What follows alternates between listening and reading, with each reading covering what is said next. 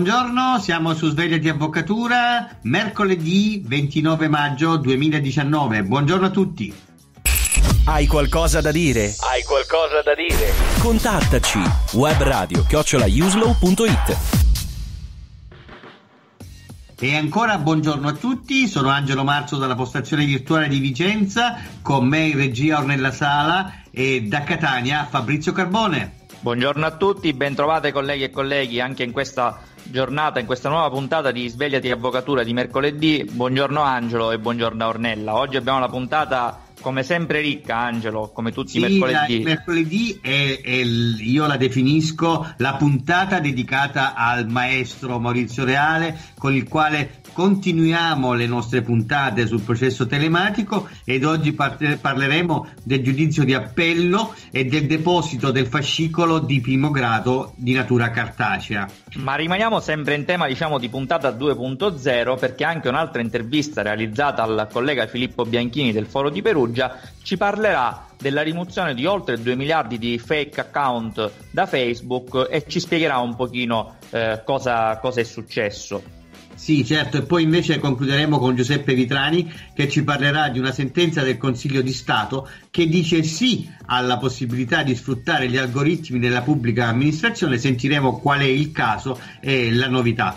E io direi di iniziare presentando proprio questa ultima intervista, quella di Giuseppe Vitrani, il Consiglio di Stato dice sì agli algoritmi nella pubblica amministrazione. Silenzio in aula! Si dichiara il sistema colpevole di lentezza e complicatezza. Con il processo civile telematico e la fattura elettronica, la giustizia italiana fa un passo importante verso la digitalizzazione. Sistemi, grazie all'esperienza maturata a contatto con i professionisti, offre Studio, il software che permette di gestire con efficienza le attività degli studi legali. Chiamate noi o il più vicino dei nostri partner, insieme a voi per lavorare, produrre, creare e innovare. Insieme sistemiamo l'Italia. Insieme per ogni soluzione. www.sistemi.com le interviste in diretta di Uslow Web Radio. Buongiorno a Giuseppe Vitrani. Buongiorno a tutte le ascoltatrici e a tutti gli ascoltatori. Allora Giuseppe, eh, il Consiglio di Stato, algoritmi dell'EPA, una bella sentenza in tema di eh, apprezzamento e di valore giuridico dell'algoritmo. Sì, sicuramente è una pronuncia innovativa, molto importante, che tra l'altro si inserisce in un contesto eh, noto anche sulla stampa diciamo non giuridica, sulla stampa generalista, mm. perché era eh, le famose vicende legate ai vari trasferimenti eh, degli insegnanti e, e, quindi vicenda nota sulla quale si innesta una riflessione giuridica profonda mm. dettata appunto sugli algoritmi.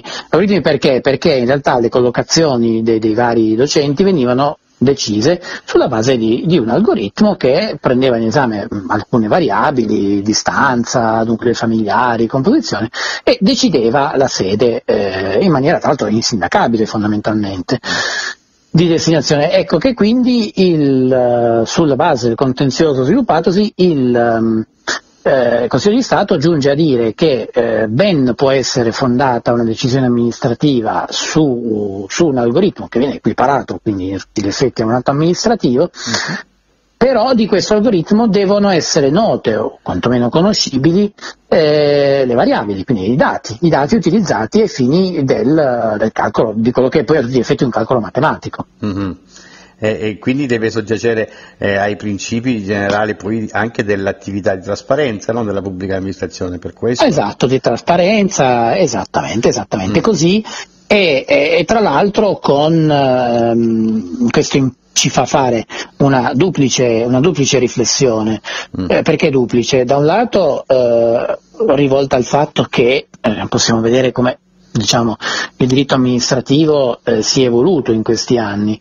Eh, siamo passati da affermazioni del tipo un tweet di un ministro non è un provvedimento amministrativo, quindi non è impugnabile, uh-huh. eh, sulla quale probabilmente anche al giorno d'oggi si può discutere, ma, non, ma mh, mm, provvedimenti emessi diciamo, con scarsa approfondimento norma- eh, giurisprudenziale, a provvedimenti come questo che sono in realtà molto, molto approfonditi. Uh-huh. e poi la seconda valutazione è quella, del, è quella che porta a dire se i dati utilizzati per l'algoritmo devono essere conoscibili, beh, a questo punto si riafferma ancora una volta che quei dati devono essere aperti. Uh-huh. Quindi dati che devono essere aperti, quindi vuol dire che utilizzo programmi aperti, dati aperti, programmi non proprietari, quindi programmi teoricamente conoscibili da chiunque, eh, da qualunque cittadino.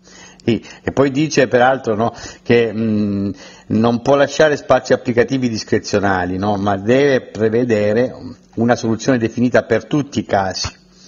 No? Esatto, esatto, e, esatto. E, e quindi cioè, deve, rintracciarsi, deve rintracciarsi nel momento dell'elaborazione dello strumento digitale e quindi mh, cioè, quello che dicevi tu è l'apertura dei dati, cioè i dati aperti, no? quindi esatto. la possibilità di controllo possibilità di controllo perché io già so Mm-hmm. Eh, diciamo che in effetti da questo punto di vista potremmo dire che diritto e matematica eh, si incontrano perché già so che eh, da una parte eh, diciamo, l'assetto normativo consente che venga data dignità giuridica ad un algoritmo, ma dall'altra l'aspetto, se vogliamo, matematico ci dice anche che le regole del gioco devono essere chiare e per cui applicando determinati dati a quella modalità di calcolo dell'algoritmo il risultato sarà quello e non discrezionale ovviamente. Certo. Eh, perché mm. poi il giudice deve completare la sua valutazione, no? quindi cioè, dovrà farlo valutando come si è svolto quel processo automatizzato. No? Esatto, esatto, esatto, quello eh, anche possiamo dire, in realtà qui mh, mm, abbiamo se vogliamo fare il sistema, eh, sulla, eh, il calcolo e le verifiche degli algoritmi nascono anche nell'ambito del diritto civile su eh, tutto il contenzioso in materia di intermediazione finanziaria, no? lì anche eh, tut- è tutto ancora dominato dagli algoritmi e anche lì mm. la giurisprudenza aveva detto va bene, eh, però devono essere eh, comunque calcoli verificabili, chiaramente magari a mezzo di una perizia tecnica e quant'altro, però comunque verificabili, quindi dati certi, eh, nel caso della pubblica amministrazione aperti, e comunque verificabili in ogni tempo e che diano un risultato certo. Bene, grazie Giuseppe, buona giornata a te e speriamo in altre innovazioni. Grazie, sicuramente ce ne saranno e buona giornata a tutte le ascoltatrici e a tutti gli ascoltatori. Newslog Web Radio, la voce dell'avvocatura. Rieccoci tornati nei nostri studi virtuali per proseguire questa puntata di Svegliati Avvocatura. Adesso ascolteremo, come anticipato, l'intervista all'avvocato Filippo Bianchini del Foro di Perugia. Sapete che nelle settimane scorse si è molto parlato della rimozione di diverse eh, centinaia, anzi addirittura la stima è proprio di oltre 2 miliardi di account eh, fake che diffondevano notizie false o che comunque fossero gestiti da utenti eh, fittizi, sono stati rimossi. E proprio l'avvocato Bianchini ci spiegherà cosa è accaduto e cosa ci dobbiamo aspettare. Tempo e spazio per il contributo. Uslow Web Radio www.webradiouslow.it webradiouslow.it Le interviste in diretta di Uslow Web Radio. Buongiorno, bentornato nella radio dell'Avvocatura il collega Filippo Bianchini del Foro di Perugia. Filippo, ciao. Ciao, buongiorno. Filippo, ti ho invitato per commentare e fare qualche considerazione eh, su Facebook e l'operazione pulizia che ha messo in atto eh, da un po' di tempo e riguarda diversi aspetti. Tu hai condiviso un articolo, cominciamo da questo, rimussi 2,2 miliardi di account eh, dall'inizio del 2019. Eh, spiegaci eh, che cosa sta accadendo, che cosa sta facendo Facebook. È un'operazione pulizia che riguarda eh, anche eh, solo gli account oppure è una pulizia anche che riguarda Facebook e la società?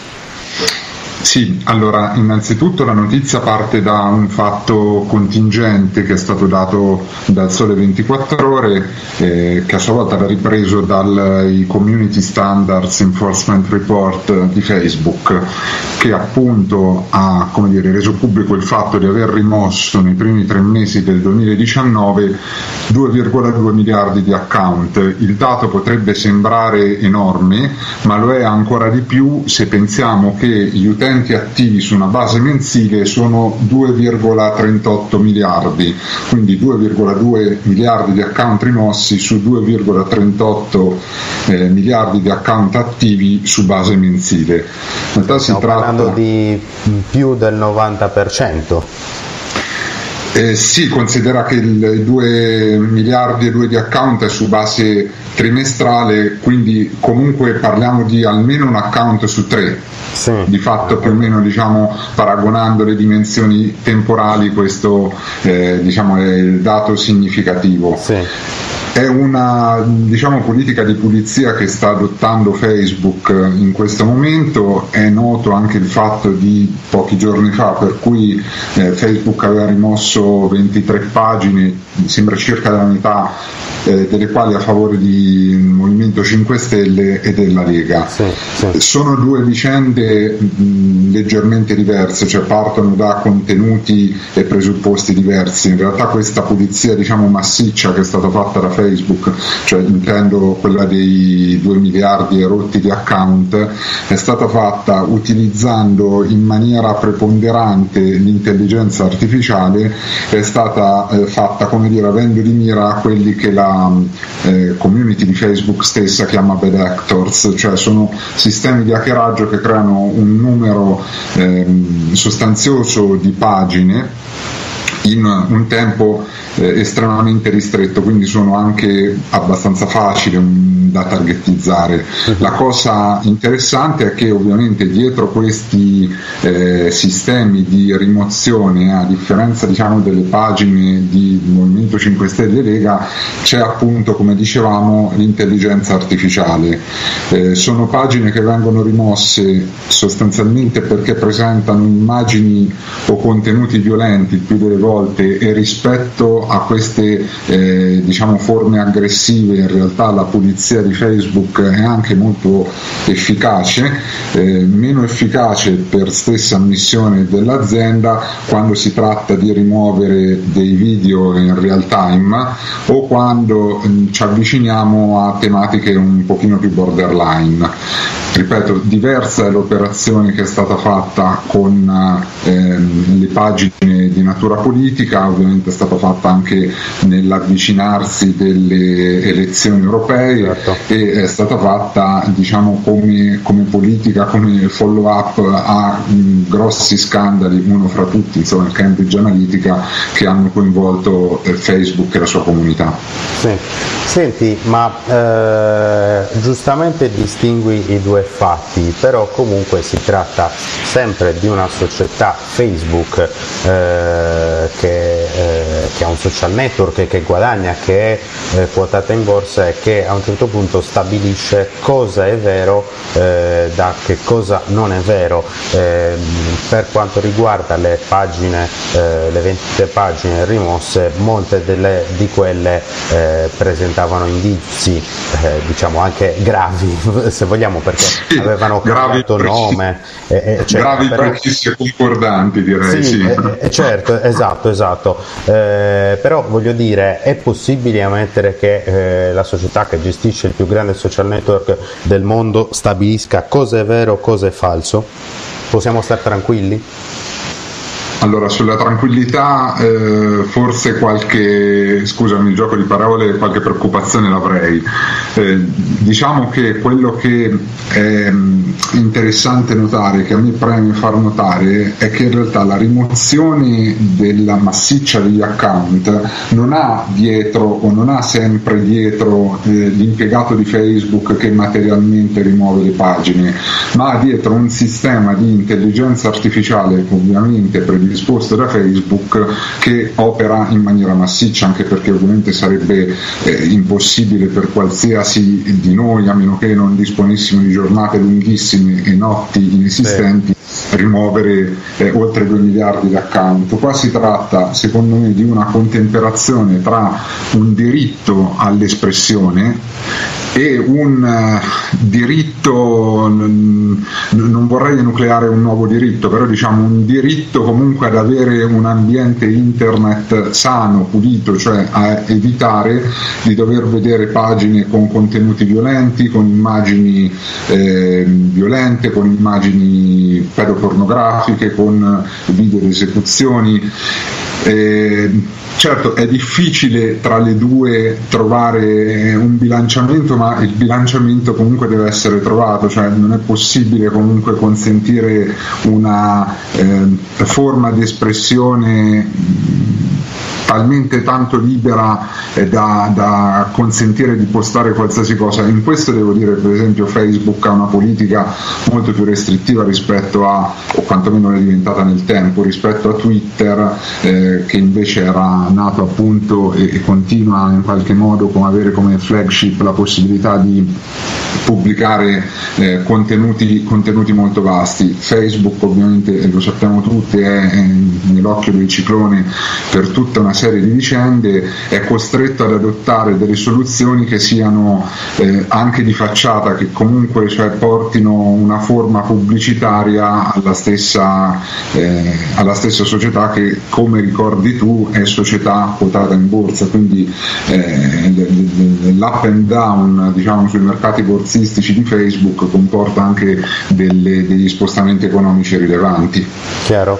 Eh, senti, invece per quanto riguarda appunto eh, lo strumento sulla, bus- sulla base de- del quale Facebook si usa per, per controllare eh, questi account falsi e poi eh, rimossi, eh, gli algoritmi eh, funzionano bene, come funzionano e tutti quanti noi ci siamo misurati con segnalazioni fatte da Facebook su contenuti che magari stavano lì da anni, non sono mai stati ritenuti rilevanti oppure eh, contenuti che erano scherzosi e vengono interpretati dall'algoritmo di Facebook come violenti. È, è sensato utilizzare questa tecnologia qua? Anche questa è una bella domanda, sì, in effetti credo che tutti quasi tutti noi abbiamo fatto esperienza di, di, di questo genere di problematiche. Eh, è sensato nel momento in cui eh, Facebook eh, eh persegue una, secondo me, un'operazione diciamo, di, eh, di, di, pulizia del proprio brand aziendale. In questo forse Matteo Flora potrebbe aiutarci in maniera determinante, però sì. secondo me sono di fatto delle campagne con le quali Facebook tiene in qualche maniera a, a recuperare a livello di immagine una opacità che vicende appunto come ricordavamo come quella di Cambridge Analytica probabilmente in qualche maniera hanno un po' offuscato. Lo strumento dell'intelligenza artificiale è uno strumento che può eh, senz'altro essere utile su numeri di questo livello, non sia forse scontato invece ricordare come l'intelligenza artificiale è oggetto di molti studi e dell'intelligenza artificiale se ne sta sempre più parlando rispetto al lato etico dell'intelligenza artificiale stessa. Tanto è vero che sembra sia proprio del mese scorso il report del gruppo di esperti europei sull'intelligenza artificiale che hanno proprio fornito delle linee guida per l'etica sull'AI. Eh, sono delle linee ovviamente di natura quasi filosofica? Parliamo, eh, ci muoviamo ovviamente sul campo non prettamente tecnico ma su quello dei principi e dunque ci hanno ricordato sicuramente che eh, appunto l'intelligenza artificiale deve essere eh, legale, deve avere un principio legale alla base, deve essere etica e deve essere anche robusta. Fondamentalmente questi tre sono gli snodi intorno ai quali ruotano queste considerazioni. Sì. Molto, molto chiaro Filippo, ti ringrazio molto di averci aiutato a capire perché eh, discorsi come eh, altamente ad, ad, altro profilo e ad alto contenuto tecnico però, però è giusto eh, monitorarle, grazie per averci aiutato, un caro saluto e risentirci presto sulle nostre frequenze. Grazie a te, a presto. Web Radio, la voce dell'avvocatura. E adesso invece è il momento di ascoltare Maurizio Reale che ci parlerà del deposito in appello del fascicolo di primo grado di natura cartacea, sviluppando tutte le ipotesi, già che spesso queste domande sui siti proprio dei processi telematici sono state poste. Maurizio, dal punto di vista pratico, ci spiega come fare passo passo. Ascoltiamo ancora Maurizio Reale. Uslow Web Radio, la radio dell'avvocatura, da colleghi a colleghi. Da colleghi a colleghi. PEC PST firma digitale EIDA SCAD, regole tecniche, eccezioni telematiche. Non ci capisci più niente? Non ti preoccupare. In tuo aiuto c'è il maestro del processo telematico Maurizio Reale, in esclusiva su Uslow Web Radio. Buongiorno a Maurizio Reale. Buongiorno Angelo Marzo, buongiorno alle colleghe e ai colleghi che sono all'ascolto di Uslow Web Radio.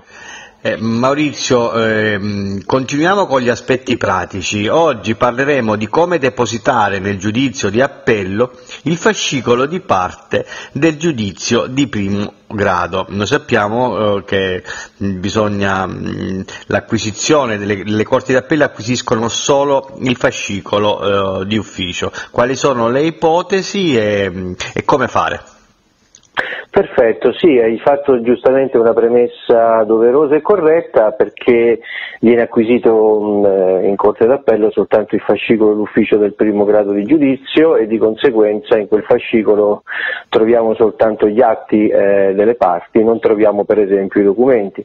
Sappiamo che c'è una sentenza a sezioni unite datata del 2005 poi confermata anche da un'altra sentenza del 2013 nella quale si dice che non è obbligo del professionista a legare anche i documenti nel grado di appello, però è chiaro che dalla mancanza di questi documenti potrebbero esserci delle conseguenze delle quali poi il difensore non avrebbe modo di potersene dolere, mm. per esempio nel giudizio di Cassazione. Ehm, per cui Ecco, vediamo un po' come fare. Dobbiamo prendere mh, in, in, due ipotesi. Eh, innanzitutto partiamo dal presupposto che il collega o la collega voglia depositare telematicamente, voglia fare la costituzione telematica nel giudizio di appello. E le ipotesi di lavoro sono due, un fascicolo di parte mh, ibrido nel primo grado di giudizio, cioè in parte cartaceo, in parte telematico, oppure un fascicolo completamente telematico. Partiamo dalla ipotesi sicuramente più eh,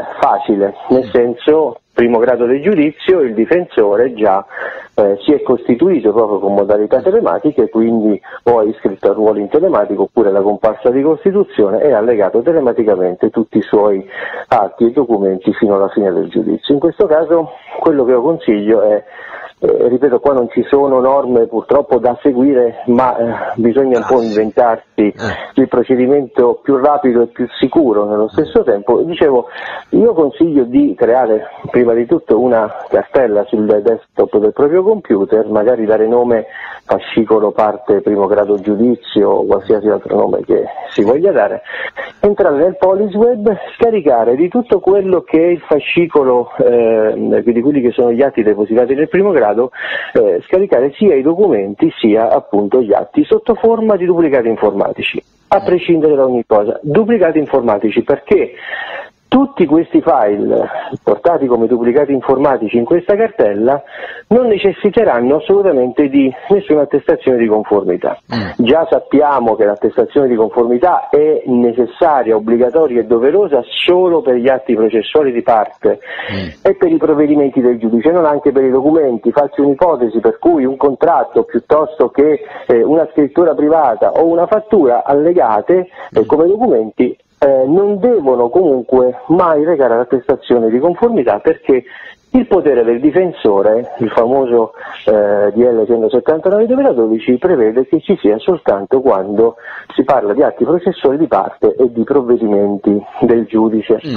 Quindi inseriti tutti i duplicati informatici in questa cartella Facciamo un'operazione semplicissima, andiamo a comprimere la eh, cartella in maniera tale che la stessa possa essere allegata come file nella busta telematica per il deposito nella, nella Corte. Come si fa a mm, diciamo, eh, zippare eh, la, eh, la, cartella? È semplicissimo perché con il tasto destro del mouse ci posizioniamo sulla cartella, clicchiamo ci sarà un menu a tendina, da questo menu a tendina andremo sull'opzione eh, invia e poi a cartella complessa e così avremo eh, semplicemente incorporato in una cartella tutti eh, i file del fascicolo di parte del primo grado di giudizio e lo depositiamo chiaramente, lo inseriamo come allegato nel, eh, nella busta telematica per la costituzione del giudizio di appello. Quanto invece al fascicolo cosiddetto ibrido, eh, quindi in parte cartaceo e in parte telematico, vale sempre la premessa che abbiamo fatto prima, cioè creare sempre una cartella sul desktop, entriamo nel fascicolo del Polisweb, Qui scaricheremo i duplicati informatici di tutto ciò che abbiamo depositato telematicamente nel corso del primo grado di giudizio, dopodiché chiaramente avremo bisogno del fascicolo di parte cartaceo eh, che avremo avuto cura di prelevare dal Tribunale, scansioniamo tutto ciò che abbiamo invece depositato in cartaceo, in questo caso credo che sia la comparsa di costituzione risposta piuttosto che eh, l'atto introduttivo del giudizio con l'iscrizione al ruolo e i documenti corredati, eh, scansioniamo tutto, l'accorgimento in questo caso è di eh, attestare la conformità ai sensi dell'articolo 16 decies del DL 179-2012 degli atti processuali di parte e dei provvedimenti del giudice che siano stati allegati in originale o in copia conforme all'originale al momento della Costituzione. Per quanto riguarda eh, i, i restanti documenti vale il discorso fatto prima. Semplice scansione senza nessuna attestazione di conformità. Una particolarità sull'attestazione di conformità perché sappiamo che quando si procede con un deposito telematico possono essere due le modalità di attestare la conformità, o all'interno di ogni singola scansione che riguardi un atto processuale di parte o un provvedimento del giudice, oppure su un documento informatico separato. Quale consigliamo a chi ci ascolta? Io consiglierei la seconda, perché la prima, quella eh, volta a inserire l'attestazione su ogni singola scansione di atti processuali o di provvedimenti, comporterebbe poi una eh, firma digitale di quella scansione, soprattutto se effettuata in CADES, occuperebbe circa 2 mega, potrebbe creare problemi poi per la famosa capienza. Esatto. E allora, semplice semplice, scansioniamo tutto, dopodiché su documento informatico separato, quindi con il nostro eh, software di videoscrittura, facciamo una bella attestazione conformità, di conformità nella quale andremo ad inserire per ogni file, per ogni scansione di cui attestiamo la conformità, il nome del file e una sintetica descrizione di ciò che contiene quel file. Alla fine diremo appunto che eh, sono autentici eh, le riproduzioni che sono state scansionate ai loro originali o eh, oppure originali cartacee detenute e poi firmiamo digitalmente soltanto questa attestazione. Questa attestazione la inseriamo in quella cartella, zippiamo la cartella e abbiamo in questo modo ovviato anche al fatto che ci sia un fascicolo ibrido. In questo caso quello che consiglio, anche poi ai fini di un eventuale giudizio di Cassazione, è quello di depositare comunque alla prima udienza eh, della- del, del giudizio di appello anche il fascicolo di parte cartaceo, in maniera tale che laddove poi ci sia un eventuale prosieguo in Cassazione già il fascicolo di parte del primo grado sia in corte e possa essere trasferito al giudice, ai giudici della Cassazione. Adesso abbiamo la terza ipotesi, no invece?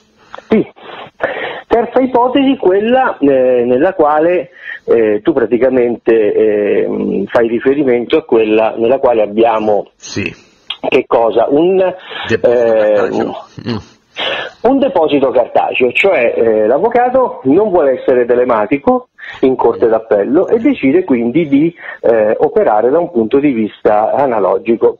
Dobbiamo fare il discorso inverso. Tutto ciò che nel primo grado di giudizio è stato depositato in telematico, quanto ad atti e provvedimenti del giudice dovrà essere stampato e di quello che è stato stampato dovrà essere attestata la conformità eh, ai mh, eh, originali informatici duplicati informatici presenti nel fascicolo informatico e eh, in questo caso quindi andrà- si andranno ad unire questi atti e questi eh, documenti a quelli già presenti per esempio nel fascicolo cartaceo se già c'è una Costituzione certo. eh, cartacea anche nel grado del Tribunale, mm. eh, davanti al giudizio del Tribunale. A questo punto chiaramente eh, il fascicolo eh, sarà eh, composto dalla iscrizione al ruolo, dalla comparsa di Costituzione a seconda eh, della eh, parte che ricopre, del ruolo che ricopre il difensore mm. e avremo, avremo modo anche di depositare eh, tutto il cartaceo con attestazione di conformità di quanto depositato in telematico nel primo grado di giudizio. Bene, Maurizio, grazie e ricordiamo che comunque in ogni caso eh, tutto quanto tu um, ci, ci, spieghi è nel, nel tuo blog e nel processo telematico la privacy, la sicurezza informatica. Grazie Maurizio. Assolutamente sì, assolutamente sì, grazie a te Angelo e un saluto a tutte le colleghe e ai colleghi che ascoltano Uslo Web Radio. Uslo Web Radio, la voce dell'avvocatura. Siamo giunti in conclusione di questa puntata di mercoledì 29 maggio di Svegliati Avvocatura, dagli studi virtuali di Catania, dal vostro Fabrizio Carbone, un caro saluto, non prima di aver ringraziato Ornella Sala in regia che rende possibile la messa in onda. La parola ad Angelo Marzo per i saluti finali. Grazie Fabrizio, grazie Ornella. Oggi la gente di uno stesso condominio non si conosce. Se si incontra in un ascensore non si parla, ma poi su Facebook pubblica tutte le sue foto e racconta di sé a tutto il mondo. Buongiorno a tutti i radioascoltatori, buongiorno di nuovo ad Ornella, a Fabrizio e svegliati avvocatura. Libertà e diritto per diffondere giustizia. È con la passione che si raggiungono i grandi traguardi e le frequenze di Uslow Web Radio pulsano di amore per la nostra professione. Questa è la radio degli avvocati che parla agli avvocati. In onda ogni giorno tutte le novità normative, gli approfondimenti e le interviste sui temi di attualità passano da qui. Uslow Web Radio, il vostro appuntamento quotidiano con la giustizia.